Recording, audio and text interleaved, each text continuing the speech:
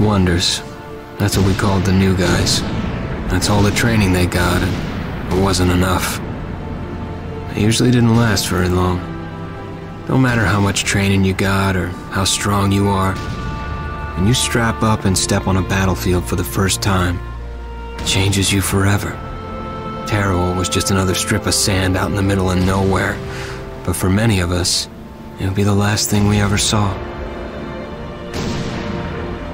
Tommy! I'll see you on the beach!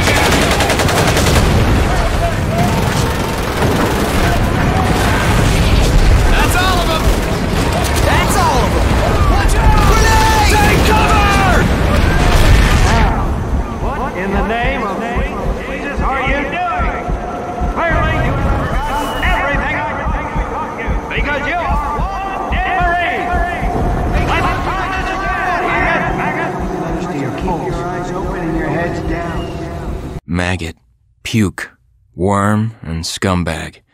Just a few of the names I was given by my beloved drill instructor in the summer of 1941. Before then, my biggest problem was delivering groceries and not breaking the eggs. Now, every time I turn around, some crazy Jap's trying to gut me. I remember asking the recruitment officer, What's the deal with you guys? I swear to God, he looked right through me and he said, Deal? We're Marines, son, and we deal in lead. Next thing I knew, I was on a train for San Diego. Soldiering for the Corps. Boot camp.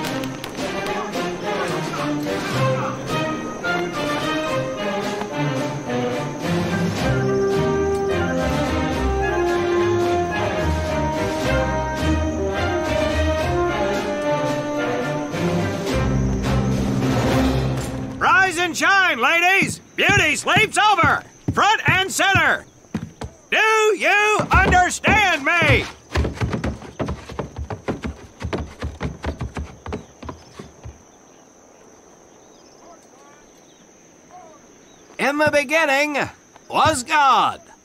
All else was darkness. So God created the heavens and the earth. He divided the earth between land and sea, and these he filled with many assorted creatures. The dark, slimy creatures of the oceans God called sailors, and he dressed them accordingly. The flighty creatures of the air he called airmen, and these he clothed in uniforms which were ruffled and foul. The lower creatures of the land God called soldiers, and he gave them trousers too short, covers too long, and pockets to warm their hands. And on the seventh day, as you know, God rested. And on the eighth day, at five hundred hours, God looked down upon the earth and was not happy. God was not happy! So he thought about his labors, and in his infinite wisdom, God created a divine creature, and this he called a Marine. And these Marines, whom God created in his own image, were to be of the air, the land, and the sea. And these he gave practical, fighting uniforms, so that they could wage war against the forces of Satan and evil. And he gave them evening and dress uniforms so they might score with the ladies on Saturday night and impress the hell out of everybody. And at the end of the eighth day, God looked down upon the earth and saw that it was good. But was God happy? No! Because in the course of his labors, he had forgotten one thing. He did not have a Marine uniform, but he thought about it and satisfied himself in knowing that, well, not everybody can be a Marine. This puts me one step above God, because I am a Marine. You remember that, and we'll get along just fine. Now, you maggots have exactly three minutes until I expect you standing at attention outside. Fall out!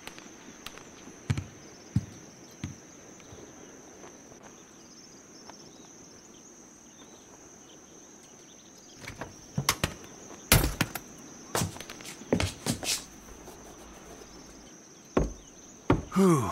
He scares me, Frank. I think maybe he is God. Well, Jimmy, just keep your head down and do what he says, and we won't have to find out. Willie, you coming? Oh, yeah, Frank. Oh, hey, Tommy, right? Uh, Tommy Conlon? Uh, my name's Willie Gaines. This here's Frank Minoso and Jimmy Sullivan. Where are you from, Tommy? Oregon. You? Guys, let's head out. We don't want to piss off God, do we?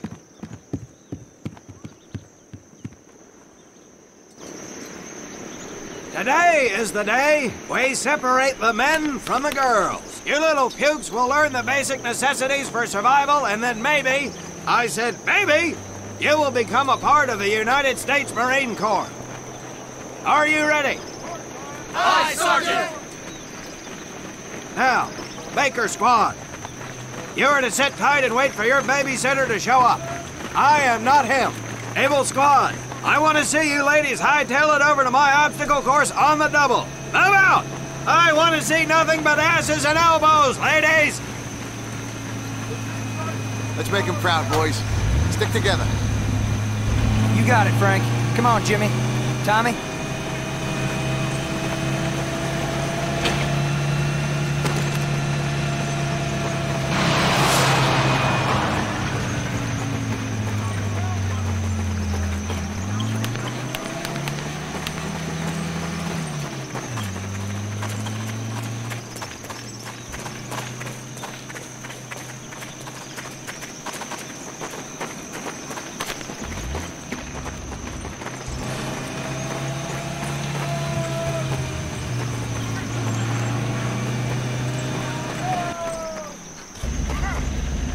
When out in the field, you are going to come across many barriers that you will need to navigate over, under, and through. This course will teach you the Marines' way of doing just that. If you think you have a better way, you can leave now and go show your mother. You are government property. So you better do it my way, and you better like it.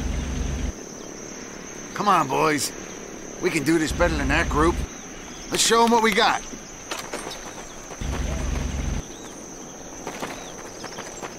Now get over that wall.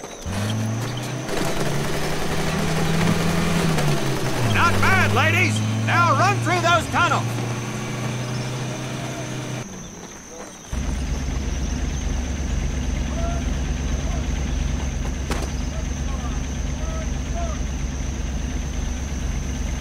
This here in front of you is the Marines' mud pit. Think of it as your own little swamp. Move out, piggies!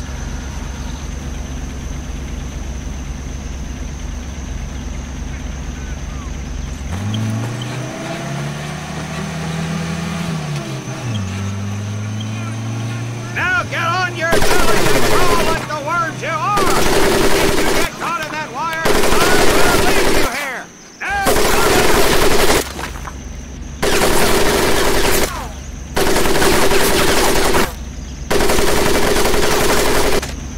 we don't have all day, sweethearts!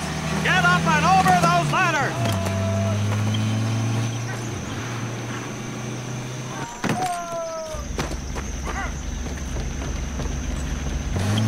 Now you are going to learn how to use that rifle that you love so much. Hit those dummies with the butt of your rifle.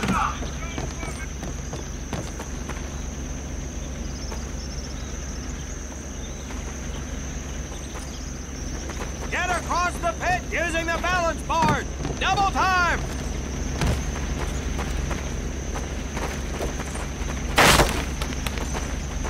Sergeant! Uh, I'm sorry You I... will not apologize. You will continue to destroy the enemy any way you can. What are you turd balls looking at? If the rest of you had half the strength of Private Minoso, I might actually have something to work with. Well, I can't believe you all made it through in one piece. Now let's see how you girls handle the business end of your weapon. Get your butts onto that transport and we'll finish on the firing range. Move it!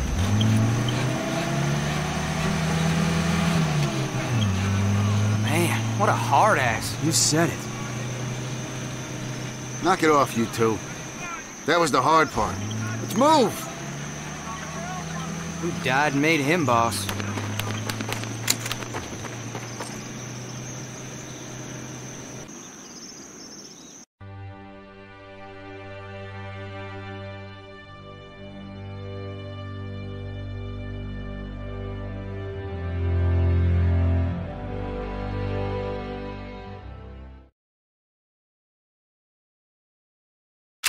To my firing range.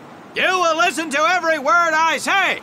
I have not lost a single scumbag on my firing line, and I will not lose one today. Do you ladies understand me? now gather up some ammo, pick a spot on the range, and we'll get to work.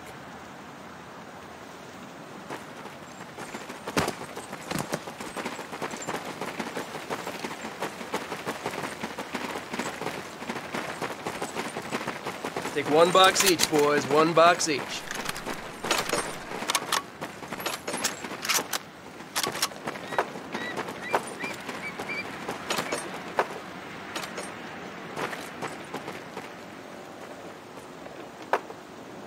Aim at the target in front of you. If you hit one, and I mean the bullseye, wait for it to be replaced with a new one. If you move, it will not be very accurate. So keep those boots planted. If you nail down, you will be more accurate. And getting down in the dirt is even better. So try all three positions. Ready on the right. Ready on the left. Stand by, targets. Fire!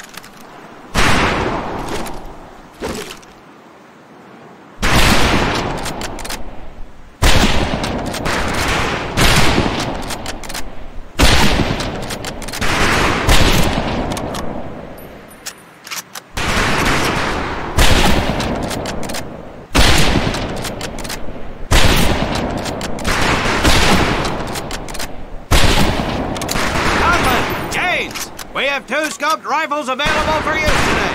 See how many hits you can get on the long-range target.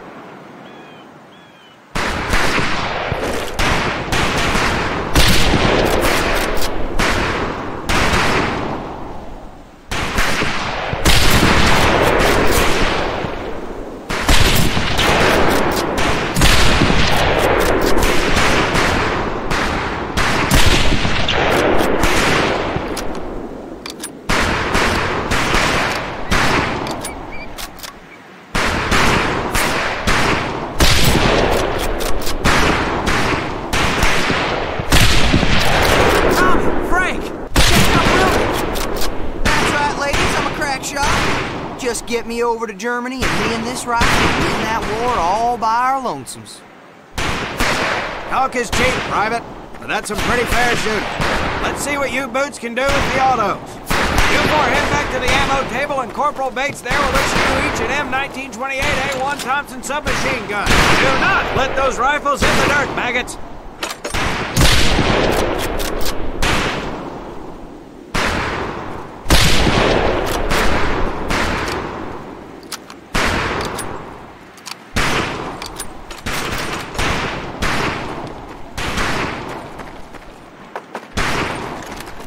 These weapons are fully automatic, but that does not mean that you should just spray and pray. Take your time to aim and fire the weapon in short bursts only.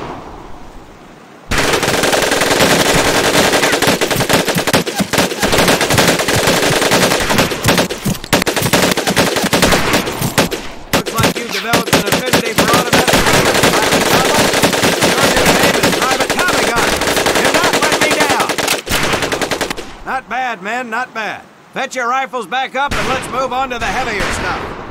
You four with the rifles! The MP here will continue to supervise your apparent lack of shooting prowess. Let's go, men.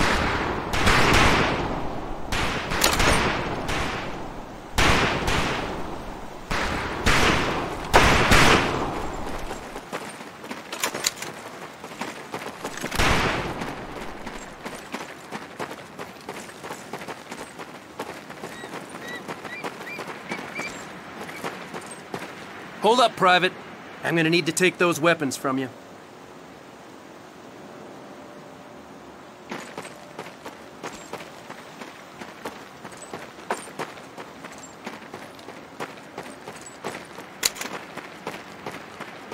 First things first.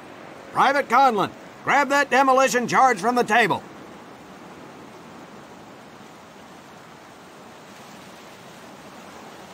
We haven't got all day, Con. You'll see behind me that we have some beat up jalopies. Today, we're gonna blast the living hell out of them. Private Conlon here is gonna get things started. Private, get your sorry tail down there and plant that charge on one of those cars. That thing is live, so watch yourself.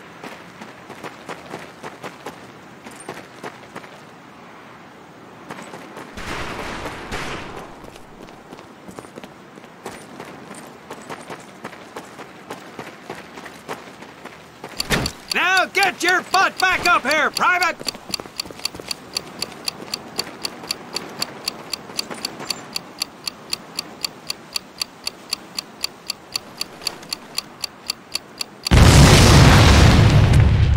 Good work, Private Conlon. You may just yet make PFC. Let's move over to the grenade station.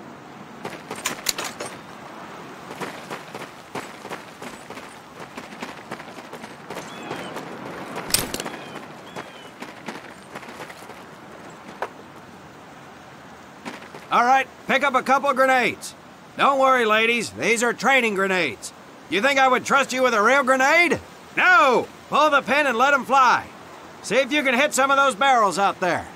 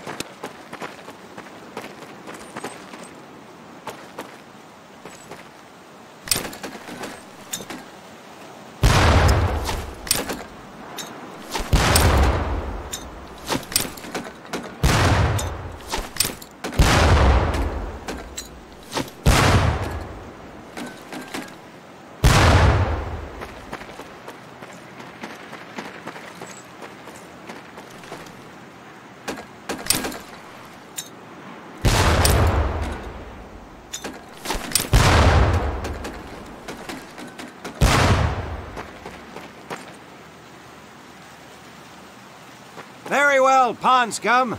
Some of you could do better, but it'll do.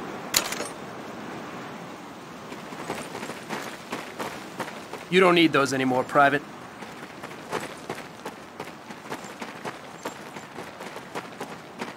Now here we have my personal favorite, the M1919A430 caliber machine gun. I want two men. One is to act as a spotter and reloader, the other will fire the weapon. Come on, Tommy. I'll spot for you. This ain't my cup of tea.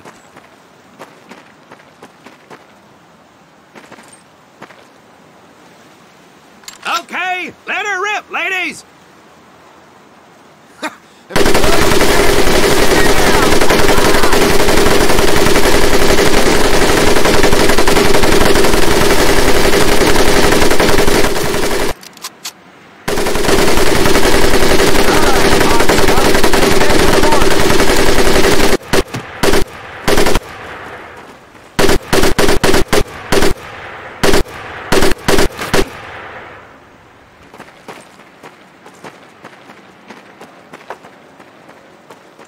You we have a fine piece of kraut craftsmanship on the mortar range.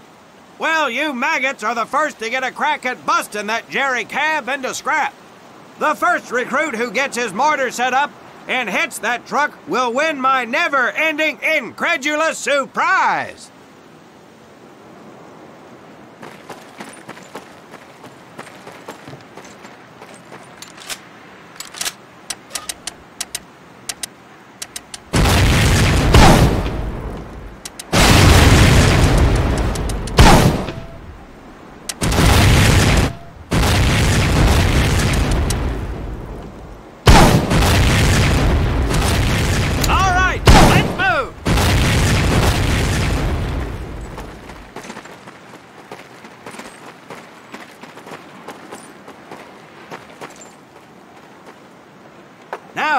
Except maybe for Minoso here, I most seriously doubt any of you will ever be in charge of anything but your own sorry ass existence. However, There will be times when lives depend on one of you maggots making the right call in the field. I expect each of you to rise to such an occasion. Sullivan, there's a Marine bleeding to death in the open. You cannot reach him without support. Let me hear your call for suppressing fire. Suppressing fire! Minoso, you're one aggressive son of a bitch. I bet you'll be charging headlong into hell for the Corps. Let me hear you tell these pansies to move up with you. Move up! Outstanding. Gaines, you, on the other hand, strike me as someone who'll turn tail and piss himself at the sight of an advancing enemy. Am I right? No, drill sergeant! Well, ain't that a shame? If the combat situation dictates, you may need to do just that. You are heavily outnumbered, Private, so you better tell your squad mates to fall back. Fall back! Good. I don't care if you're sucking face with Rita Hayworth herself. You hear a Marine call out, you best respond. Private Conlon, you are being fired upon. Your squad is out of position. You need to get your fire team back into formation. So let's hear you rally these boys. Regroup! Good. Let's go.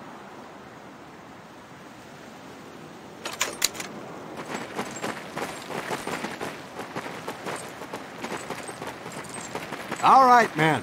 That's enough for today. Good work out there. But oh my God, Gaines! You've just been shot! Hit the deck! I said hit the deck! Now, there's two things to do if and when you're hit by an enemy in combat. Number one, apply pressure to the wound. Next, if you can, call for a corpsman. If you're lucky, one will be around somewhere nearby. Private Sullivan, I understand you have a medical background. Yes, Sergeant! Well, lucky us. Make your way over there a bit and play doc for us. Conlon, you take Private Gaines over to Doc to get him patched up, and then hightail it back over here ASAP.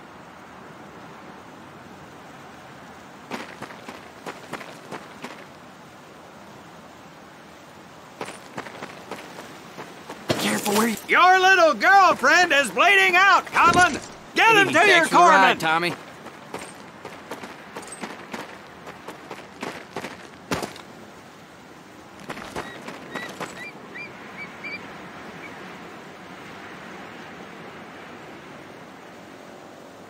Well done, Private Conlon. But you've just been shot as well! Hit the deck!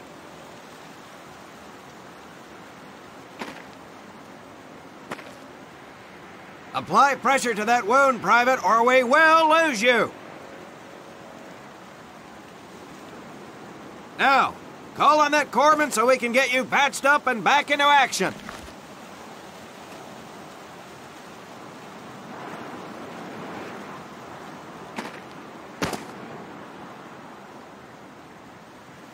Right, men. Good work today. I do believe that with a little more work, you may have a fighting chance. Let's get scrubbed up for mass. Move out!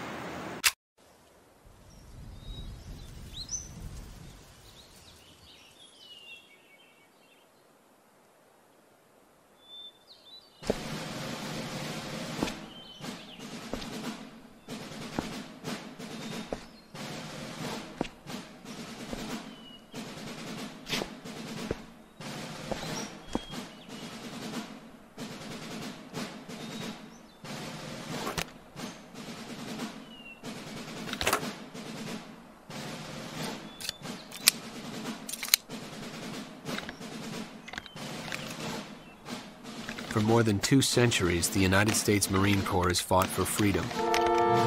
But their infamy, their legend, was forged during the hell of World War II. Triumph cannot exist without hardship, and the price of victory is paid in the blood of men. Faith, courage, and sacrifice paved their road, and that long journey began in the early hours of December 7th, 41.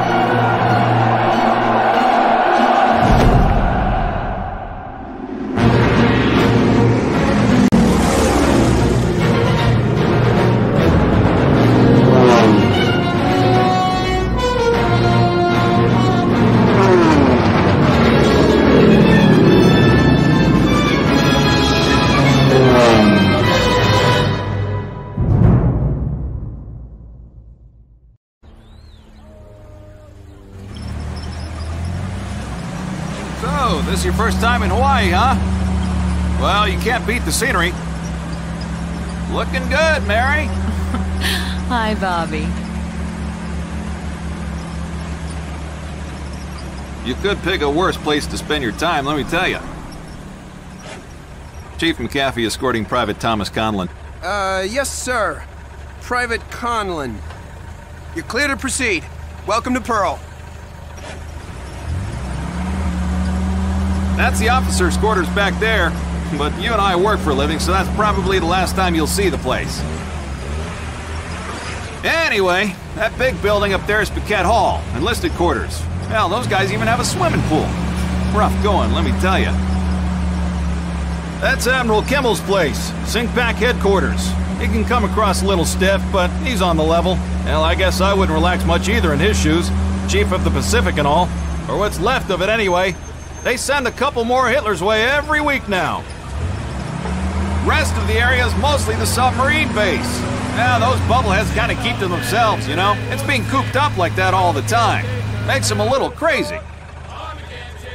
That big one's the dive tower where they practice rescue. But you get in trouble in a sub, there ain't much anybody can do.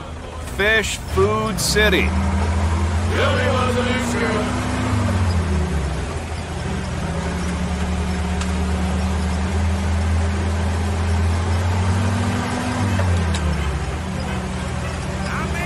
Say, hey, Joe, Yankees call you up yet?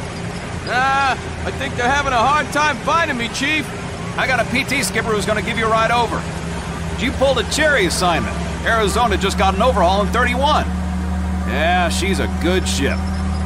Look at these bums loafing off up here. Good thing the war's in the other ocean. Uh, hope I'm not interrupting. Absolutely not, sir. Just going over the latest specs with the men, sir. You guys ready to get this foot slug over to the AZ? Sure thing, sir. What the hell? Sheesh! Damn army guys. Somebody's gonna catch hell for buzzing HQ like that. Hey, Army! Look at the meatballs on the wings! Get to the